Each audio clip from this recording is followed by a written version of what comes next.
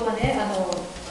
スージーとスージーがフェイスブックに上げてくださった市原貴子さんが来る予定になるんですよね。その人のためにちょっとメッセージを組み立てたんですけれどいやもうあの感謝です。あの信子さん来てくださって感謝します本当にご苦労様です今日みんなでこうやってあの全部クリスチャンという中でね。神様礼拝できることを感謝します。こういう中に聖霊様が本当に一人一人に触れてくださって私たちの悩みや苦しみや悲しみもしまだ心に傷ついたものがあるならばそれを癒してくださるように心から皆さんをあの祝福します。そしてあの聖霊様が働いてくださるように祈ります、えー、メッセージに入る前に報告をさせてください、えー、6月13、14、15の、えー、金土日になりますけれどもカルガリのゴスペル福音教会でリトリートがあります。講師が鍵和田先生です。私たちの教会も13、14であの参加しようと思っているんですけれども行きたいなと思う方は私の方まで申し込んでください、えー、参加費と宿泊、まあ、13日泊まれば宿泊費ですね。それに多分金土日の夕食がつくんじゃないかなっていうあのまあ、連絡をちょっと受けてないんですけれども思いますのでその費用が大体、うん、30ドルから50ドルの間だと思ってください。ごめんなさい。宿泊はハッピーさんが私の家を利用してくださいとおっしゃって申し出てくださっていますのでそちらの方に宿泊しようと思っています。この鍵原先生はサニーサイドキャンプに5年前に来てくださった先生です。その時先生が語ってくださった聖書の歌詞が覚えていらっしゃるいかが方がいらっしゃるでしょうかね「良きサマリア人」ルカの10章でした。そのイエス様の例え話なんですけれどもユダヤ人があの交わりたくない存在汚れた町に住んでいる人たちをこのサマリア人って呼んでいたんですね。ところが強盗に襲われて瀕死になんていうか瀕死に化してるっていうのかなあの死にかけている。もう本当にこのあの襲われて死にかけている人をねユダヤ人ではなくこのサマリア人が助けて面倒を見て解放してそしてその宿屋に連れてって費用まで払ってあげたっていうのがこのストーリーなんですけれどもその時に神様が私たち一人一人にねあなたも言って同じようにしなさい。と語られたことをねあの覚えています。そのように励まされた気がしたんですね。まさにこのサマリア人私たちはあの違法人ですけれどもこのサマリア人のごとくあの何も恐れることなくあの、まあ、私たちよりも大変な人たちを助けることができるようにと願っています。決してサマリア人が汚れていたりまた弱っていたり醜かったりするわけではないんですね。本当に今はイエス様が私たちと共にいて私たちの一切の罪も汚れもあの十字架で追ってくださっていますからその信仰に立ってサマリアのサマリアの人のようにこのサマリア人のように周りの人たちに仕えていきたいなと思いました。生のお母さんの話もまた興味深かったんですけれども宣教師だったご主人あのアメリカ人だったんですけれどもつまり先生のお父さんになるわけですけれどもこの方がまだ先生が小さい時に亡くなられて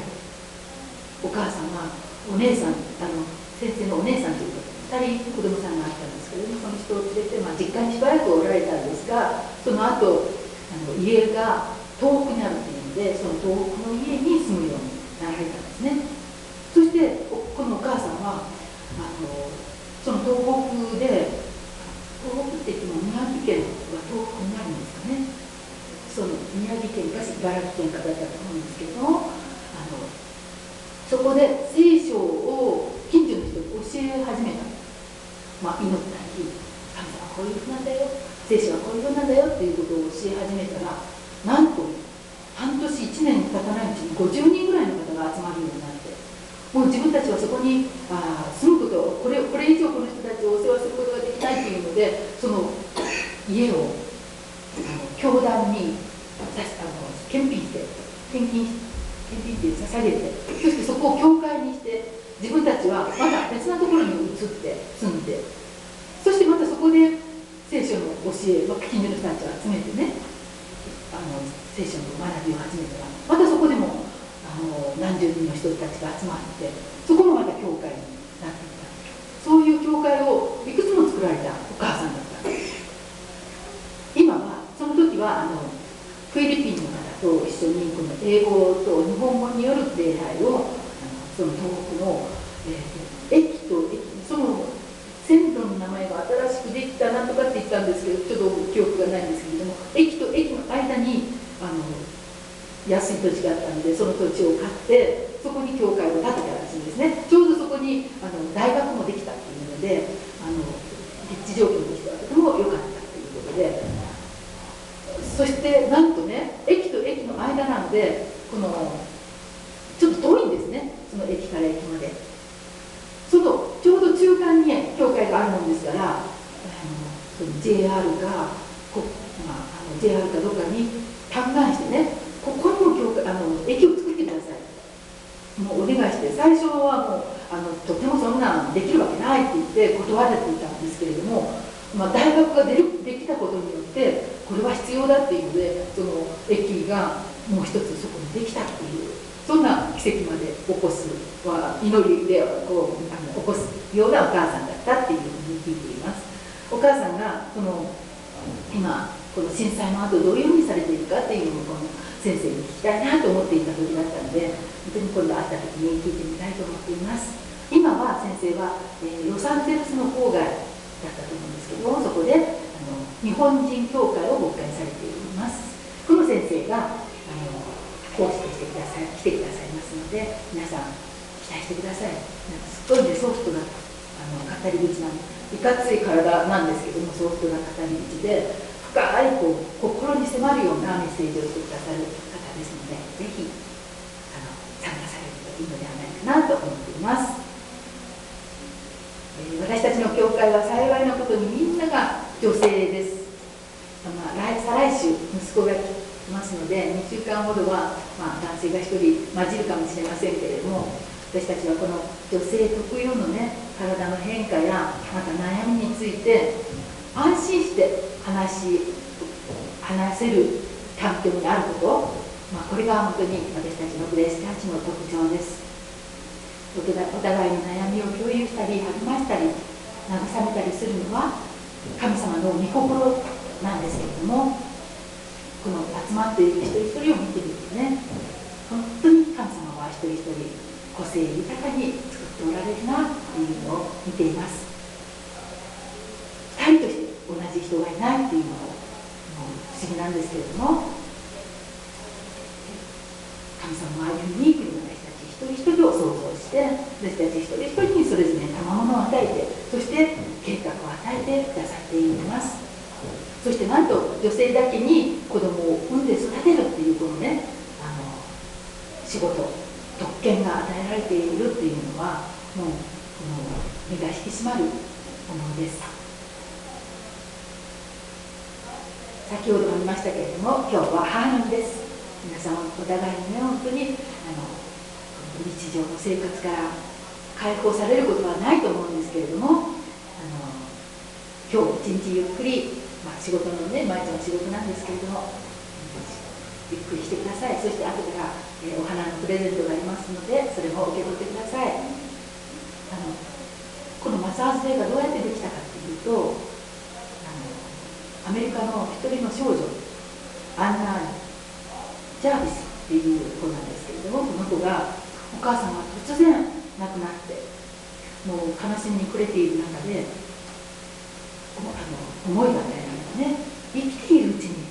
お母さんを山の時を持たなければいけない。そんな思いが来て働きかけを始めたんです。そしてそのお母さんが亡くなった日にみんなにね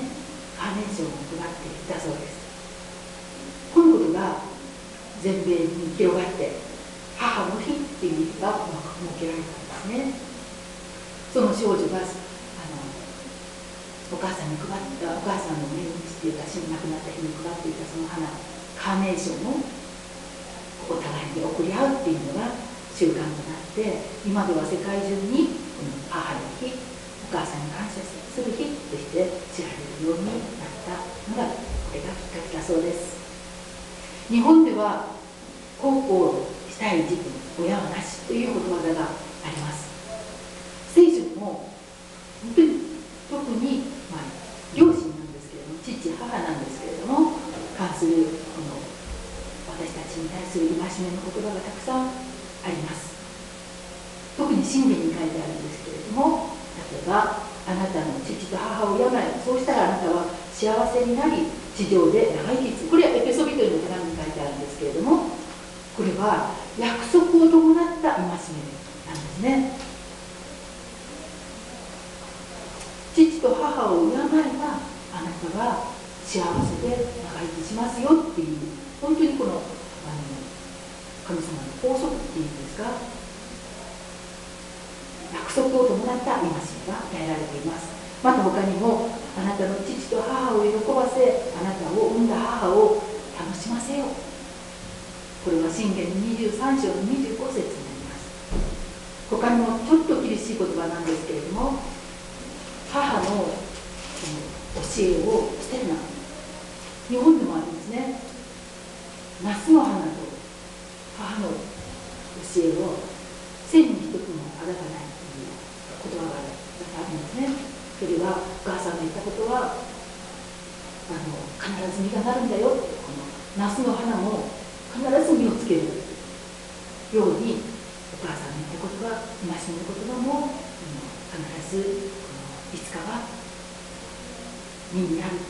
感謝できる時が来るんだよっていうことを教えている、うん、あのことわざです。神様は人が正しい道を歩むように本当の幸せを得てほしいとこの聖書の言葉を、まあ、神様の言葉を集めて聖書っていう形で私たちに残してくださっています。これが実際にどれだけ真実かっていう統計を取る人がいてね。あの特にこのアメリカの大学でそういう調査をしている人がいるんですけれども幼い頃母親に対して反抗的であったり暴力的であったりするきた子供っていうのは大きくなっても自ら不幸を招く結果になってしまうというそうなんです。そういう確率が高いっていうんですか？だから両親が例えばあの離婚すると子供たちもその離婚の確率が高くなるっていうこと必要ですっていうようなことをおっしゃってたんですけれども反対にこの大きくなって人間関係に恵まれまた成功している人っていうのはその多くの人は、まあ、全部じゃないですよ。多くの人は親を尊敬し、まあ、大切にしている人が多いんですよっていうことをおっしゃってました、まあ、いずれにしてもこの母の日や6月にある父の日にの機会を利用してね両親とのこのもう一回この関係を見直してほしいなと願っています。そして普段普段はの私たちが伝えることができないような言葉感謝の言葉とか、まあ、あのこのことは嬉しかったよっていうことをね伝えらればいいんじゃないかなと思っています、まあ、もちろん皆さん多分そうされてると思うんですけれどもねまず私たちが持っておくべき大切なことはどんなことがあってもお母さんの味方になってあげようというそのもう絶対にこれを失わない、ね、もちろんそれは子供に対しても一緒ですあこの子の味方にいつもなってあげようこの子の存在を喜ぼうその心を私たちはクリスチャンとして持っていなければいけないんですね一人一人を産んで育てるためにどれほど自分を犠牲にして愛情を注いでくれたかは自分の子供を育てて初めて分かることでもありますよね。完璧なお母さんは一人もいないんです。どんなお母さんでも大切にすることができます。トロントのフェアフォードチャーチの牧師夫人がいるんですけれどもこの方は小さい時からずっと虐待されてお母さんに虐待されて育った人だったんですけれどもある時クリスチャンとして生活する中で私がお母さんに悪いことをしたというよりもお母さんはそのようにさせたことを謝らなければっていうので3年4年かけてずっとこの自分の心にあるしまっておいたそれがあ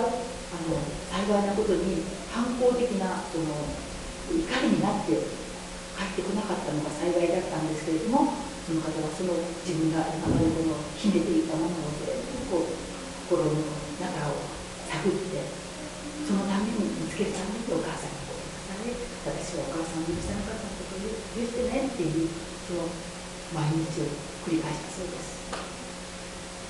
本当にそこから解放された時お母さんもういいよ。もういいよもう分かった私の方が悪いんだからって言ってイエス様を信じてくださったそうなんですね。私たちに託された子供をどのように育てるか。どのような言葉をかけていくか。によって子供の人生が左右されるのですから親としての役割はとても大きなものがあります。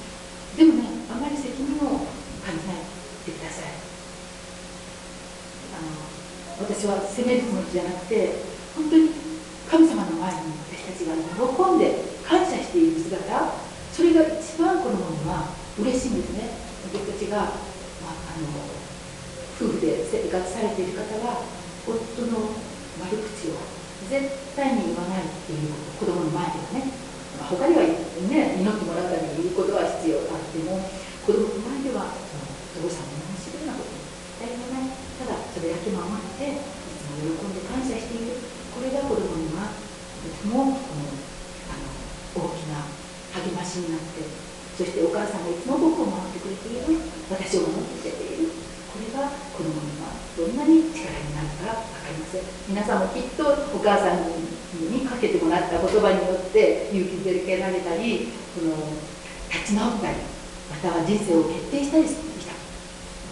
言葉っていうのがあると思うんですね。実は私もあるんです。97歳の母ですけれども、えー、ですからねあの戦争中をの戦争時代をくぐり抜けた人しかも青春時代をその戦争中過ごしたんですね。まあ、もちろん若いからお腹も空いたことでしょうしあの母は幸いなことに、まあ、助産婦っていう仕事を持っていたのであの駆けずり回っていたそうです。でも口癖のようにねお腹が空いたら戦はできないだからちゃんとご飯食べなさいっていう、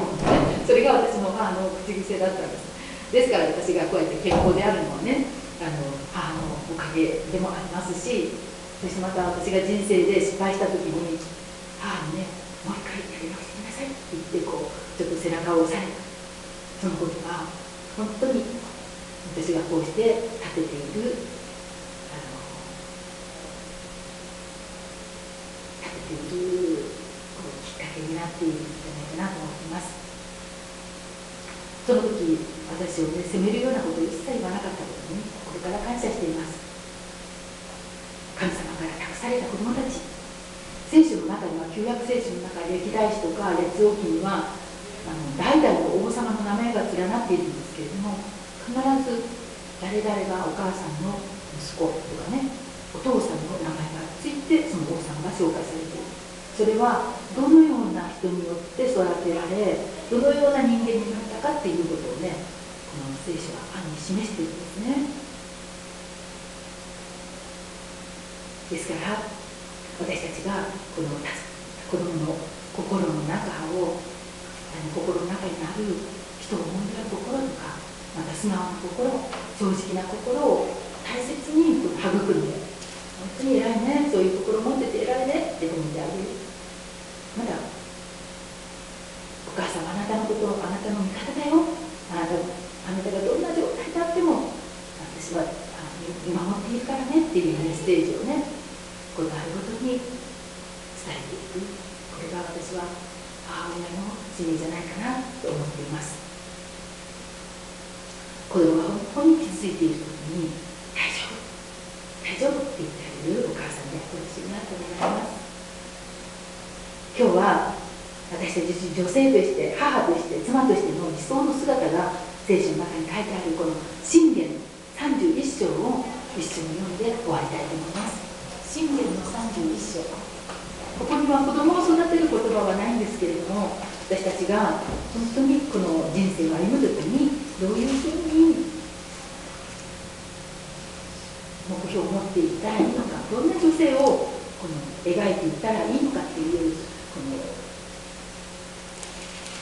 理想の女性像が書いてあります。これは王様のお母さんが王様のお母さんからの戒めの言葉というふうに書いてあるんですけれども、えー、一節ずつじゃあ交代でまた読みましょうか。信玄の31章ページは1009ページになっていますけれども読んでいきたいと思います。31章の一節マサの王レムエルが母から受けた戒めの言葉。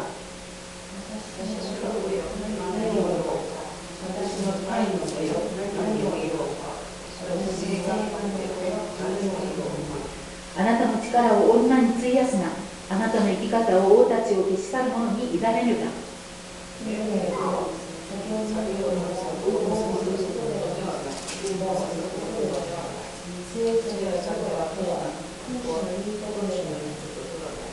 酒を飲んで直令を忘れ、すべて悩む者の叩きを曲げるといけないから。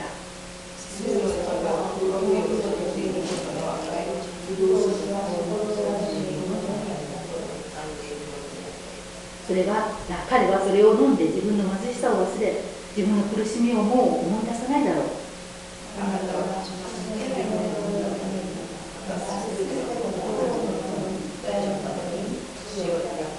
口を開いて正しく裁き悩んでいる人や貧しい者の権利を守れ。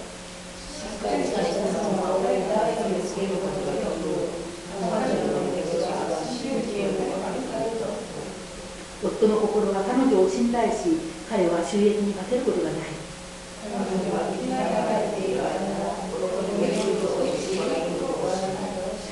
彼女は老毛や甘を手に入れ喜んで自分の手でそれを仕上げる。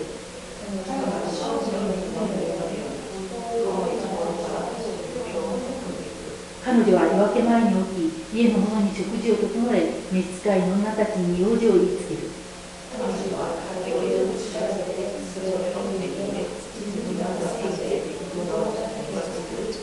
腰に帯を強く引き締め勇ましく腕を振る。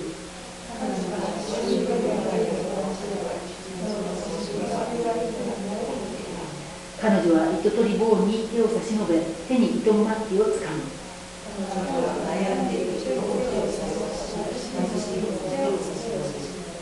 彼女は家の者のために一気を恐れない。家の者は皆合わせの着物を着ているから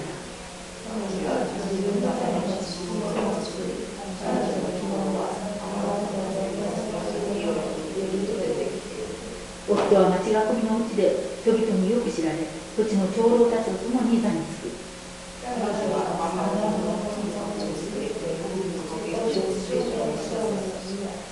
彼女は力と機運を身につけ微笑みながらの血の日を待つ。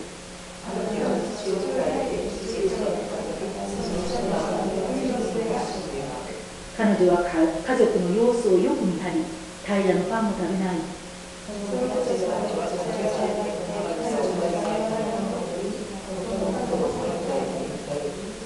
しっかりしたことをする女は多いけれどあなたはその全てに勝っている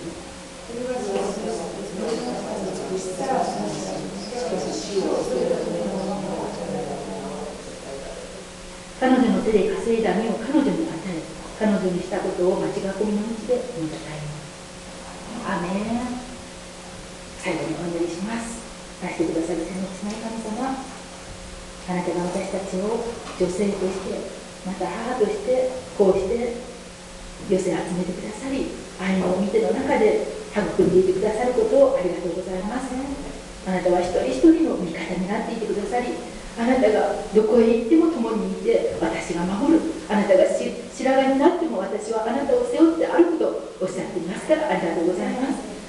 私たちが本当に主をあなたの言葉にいつも心を向けて言葉によってあなたを恐れて歩むものとならせてください。今日もこうして本当に愛する姉妹たちと共にあなたを礼拝しあなたに喜びを捧げられたことを感謝します。どうぞここに来られたお一人お一人の上にまた子供たちの上に家族の上にまた親族の上に主イエスキリストの皆によって祝福が豊かにありますように。また神様あなたの十字架の知識をで、えー、主よ子供たちを守ってください。主よ子供たちが母の姿を見て信仰を得ることができますように。主よその母の後ろ姿を見てまた耐えている姿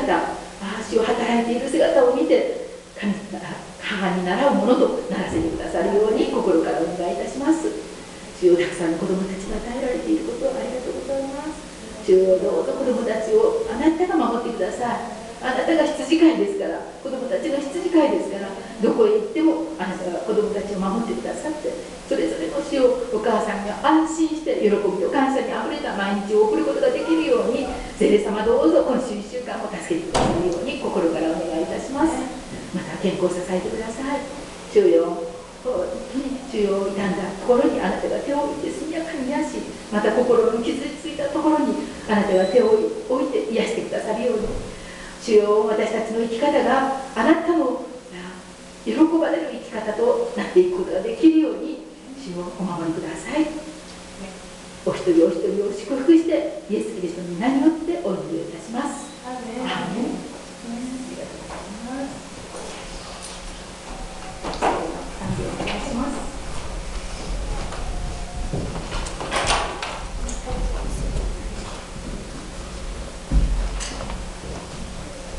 ち上がるまた立ち上がって、